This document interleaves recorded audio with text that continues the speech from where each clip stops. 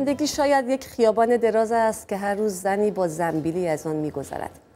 زندگی شاید ریسمانی است که مردی با آن خود را از شاخه میآویزد. زندگی شاید طفلی است که از مدرسه برمیگردد. زندگی شاید افروختن سیگاری باشد در فاصله رخوتناک دو هماغوشی. یا عبور گیج رهگذری باشد که کلاه از سر برمیدارد و به یک رهگذر دیگر با لبخندی بیمنی می‌گوید صبح بخیر. درود بر شما. به ویژه برنامه تولد یک سالگی خیابان زندگی خوش اومدید.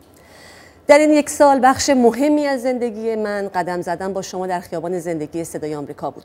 برنامه‌ای که امشب یک سالگی اون رو همراه با شما و جمعی از گزارشگران این برنامه جشن می‌گیریم. برنامه امشب پر از میهمانه. میهمان که چه ارز کنم؟ میزبان. چهره هایی که برخی از اونها رو به وسیله گزارش ها و صداهاشون می‌شناسید. هدف آشنایی بیشتر با دستن در کاران این برنامه است.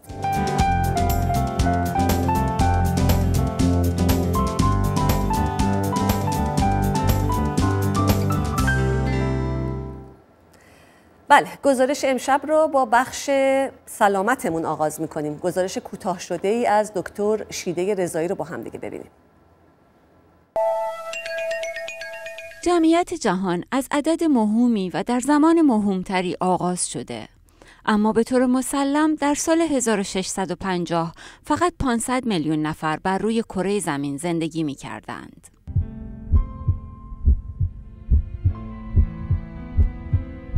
از همین حالا تا پایان این گزارش چهار نفر در جهان خودکشی می کنند و در طول برنامه حداقل صد نفر یعنی هر چهل ثانیه یک نفر. به یاری هم این موج مهار کنیم این جمله شعار 19 همین کنفرانس بین المللی ایدزه که امسال در واشنگتن تا دقایق دیگه در همین ساختمون آغاز به کار می‌کنه. Sometimes I feel I'm gonna break down and cry. Nowhere to go, nothing to do but my time. I get lonely. نه این صدای گیرارو به خاموشی می‌رفت. و نه دنیای هالیوود از افسون این بازیگر آوازه در اوج شهرت بی نصیب می شد. اگر ایدز به کلکسیون بیماری های بشر افزوده نشده بود. بهش ماریجوانا، پات، گراس، برگ شادونه یا علف میگن. هشیش و بنگم از همین خونوادن. فقط نحوه فراوری و قلزتش با ماریجوانا فرق داره. هشیش رو از سمق گیاه گلدار شادونه می‌گیرن و ماریجوانا ساقه و برگ و گل خوش شدهشه. این ماده به شکلهای مختلف می‌تونه مصرف بشه. معمولا تو سیگار میپیچن و می‌کشن ولی مصرف خوراکی هم داره. بعضیا با غذا قاطیش می‌کنن یا به شکل چای دمش می‌کنن. از ساعت چهار و پنجاه و سه دقیقه بعد از ظهر 21 مرداد ماه تا امروز که زمین زیر پای آسمان مه گرفته و جنگل های زغالخته اهر ورزقان و کلیبر ده ها بار لرزیده دلهای بسیاری در ازای دیار ها به لرزه در آمده. اما لرزه ها که نشست یادمان خواهد ماند که ایران بر بستری از های فعال قرار دارد و تقریبا هر چهار سال یک بار زلزله مهیب آن را ویران می کند. جاهای امن خونه رو بلدین؟ چرا قوه دارین؟ پتو و آب و کنسرو و بیسکویت و رادیو رو تو جای امن ذخیره کردین؟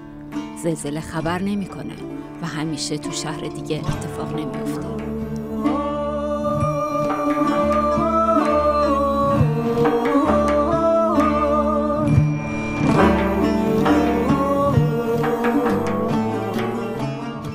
بله شیده رضایی روزیتا ایران دوست با ما هستند برای آغاز این برنامه برای آشنایی بیشتر خب خیلی سریع بگیم که اولا چند ساعت در روز کار می‌کنین کی شروع می‌کنین کارتون رو خب روزهای مختلفی در هفته رو من اینجا کار می‌کنم برای برنامه های مختلفی. روزایی که برای برنامه خبر کار می‌کنم که قاعدتا شنبه یک شنبه است 6 صبح شروع می‌کنم و حداقل 8 ساعت روزایی که برای خیابان زندگی کار می‌کنم. یکم دیرتر شروع می‌کنم و یکم دیرتر تموم می‌کنم. برنامه کاری منم تقریبا مثل شیده میمونه. از 6 صبح شروع میشه تا دو بعد از ظهر. ولی منم برای خبرم کار می‌کنم برای برنامه خیابان زندگی هم کار می‌کنم. ولی ساعتم تو همین حول هوش هستش. موضوعاتی که انتخاب می‌کنین چقدر روش وقت میزه می‌دونم که البته هر کدوم مختلف هست متنوع هستش ولی کلا چجوری انتخاب میشه؟ بر اساس موضوعات روز انتخاب میشه دیگه شیده نه؟ طبیعتا نگاه هستیم به موضوعات روز هست. اما همون موضوعات روز موضوعات مختلفی هن و گروه های مختلفی از مردم رو تحت تاثیر قرار میدن. سعی می‌کنم موضوعی رو انتخاب کنم که مردم بیشتری باهاش درگیر بودن و از اون تاثیر پذیر بودن موضوعی منم بیشتر مربوط به امریکا میشه. مثلا من میام یه موضوعی رو انتخاب می‌کنم که هم ارتباط داره با مردم داخل ایران. همین که خب اینجا مردم باهاش در روز در جریان هستن. ولی در اصل این موضوعات دوتاش با هم ارتباط داره. مثل چیه مثال بزن که به مثلا برای ایمنی مدارس. نمی‌دونم گزارش ایمنی مدارس من دیدی؟ بله. خب ما خودمون تو ایران مدرسه رفتیم می‌دونیم. مثلا من یادم میاد که من کپسول آتش نشانی خیلی نمی‌دیدم تو مدرسه‌مون ولی وقتی اینجا بچه‌مو می‌بردم مدرسه نگاه کردم دیدم اینا چقدر موارد ایمنی رو رعایت می‌کنن. خب این همین باعث شد که من اینو انتخاب کنم. البته یکی از گزارشات میدیم ها البته احتمالاً وقتی ما مدرسه می‌رفتیم تو حالا خیلی چیزا تغییر کرده ولی خدا کنه بهتر شده باشه شیده. ببین تو همیشه در حال درس خوندنی. حالا هنوزم داری کار می‌کنی درس می‌خونی دیگه یا نه؟ من تقریبا 6 ماه پیش آخرین دوره درسی که میخوندم تمام شده. چی بودش؟ راست میگی من از 5 سالگی یادم نمیاد اول مهری رو مدرسه نرفته باشم. غیر از سالهای سیاه انقلاب فرهنگی البته. تو هیچی نگو تو خودت از این بدتری. الان میام سمت تو. نزدیک این میشینی بیماریش گرفتته.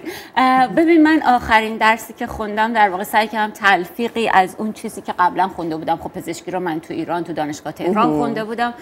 ولی اینجا فاصلش هم چندین بار دیگه درس خوندم. ولی اینجا که اومدم چون تو رسانه هم کار می‌کردم رفتم دانشگاه جورج واشنگتن و خوشبختانه رشته رسانه و سلامت اونجا وجود داشت. و یاد می‌گیری که چه قابلیت هایی داشته باشی که بتونی در واقع سلامت مردم رو در جامعه از طریق رسانه های عمومی ارتقا بدی روزی جان. منم هنوز دارم به درس. من هنوز دارم درس می‌خونم. دنبال روی همین برنامه است. ولی خب من کلاسامو آنلاین برمیدارم به خاطر اینکه با برنامه کاری که دارم تا برسم خونه دیگه وقت نمی‌کنم بخوام برم امان از سر این کلاس. ولی خب خوبیش اینه که سر کلاسام آنلاین تا شب ساعت 11 و 12 می‌تونم تو کلاسام چجوری شرکت می‌تونی کنم. اینو مدیریت کنی؟ دخ- دختر و پسر نوجوان داری درس می‌خونی و کارت هم حرفه‌ایه و مرتبا بیرون هستی برای کارت. من میگم بهترین کاری که هر کسی می‌تونه بکنه یعنی کمک می‌کنه اینه که آدم برنامه ریزی داشته باشه. من خودم یه برنامه ریزی طولانی مدت دارم یه برنامه ریزی کوتاه مدت. کوتاه مدت هم همون برنامه روزانه‌مه که می‌نویسم. یعنی واقعا برای خودم می‌نویسم امروز قراره چه کارهایی انجام بدم. از تفریحاتتون بگیم ببین فکر کنم گزارش منو. کلا نو داد چرا؟ چیکار؟ اینکه برای اینکه مشخصا نشون داد که من چقدر به سینما و موسیقی علاقه دارم تفریح اصلی من همونجور که خودت می‌دونی احتمالا کلی فیلم با هم دیدیم سینما و در واقع رفتن به نمایش تئاترایی که خب خیلی همین فانتوم آف اپرا این آخر 25 سالگیشه آره، که رفتم. آخرین بار تماشا کردم من کتاب خوندن خیلی دوست دارم ولی یکی از کارهایی که خیلی دوست دارم کارهای دستی و کارهای هنریه که اگر وقت داشته باشم حتما می‌رسم و همیشه هم رسیدن به دیگران چه به خانواده چه به همکارات بسیار دختر قابلی هستی تو هر دوتاتون و تو هم که هنرمندی واقعا خب اه، برنامهتون چیه برای آینده مردم بدونم. چیکار من؟ ادامه درسم به فعلا غیر از. خیابان زندگی که اونو اصلا خب آره که کار می‌کنیم برای من کارم من کارمو خیلی دوست دارم. یعنی واقعا وقتی میام برای سر کار با انرژی خیلی زیادی میام و خیلی علاقه دارم بهش.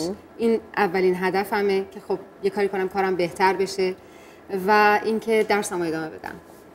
من واقعیتش دلم خواست سفر کنم به کشورهای آمریکای لاتین چون فکر می‌کنم که می‌تونیم خیلی جنبه های مشترک پیدا کنیم من با تو میام. متشکرم. من خیلی خوشحال میشم من با تو میام. با این هم عقیدم. درس رو ولش کن. خب روزی جان یه قسمتی از گزارش تو کوتاه که ما گزارش ها نمی‌تونیم کامل پخش بکنیم دیگه. امشب گزارش های ما خیلی کوتاه کوتاه.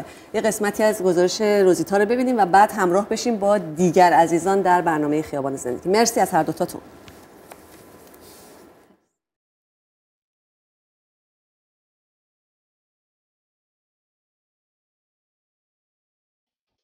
اینجا منحتنه. در قلب شهر نیویورک.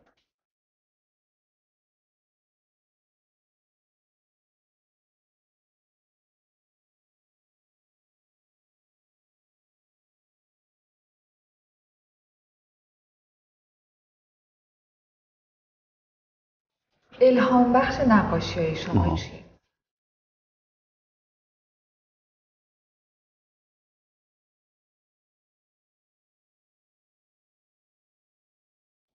وقتی مجازش. اه پر از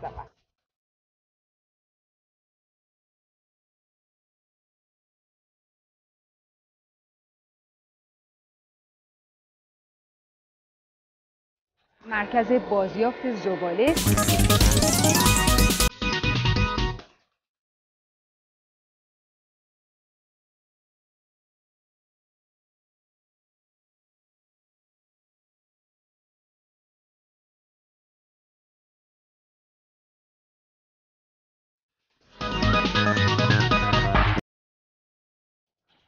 نه ولش کن.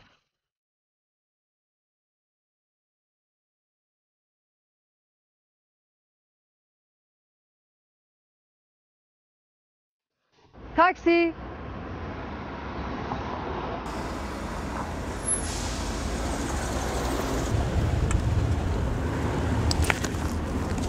روزیتا ایراندوز صدای آمریکا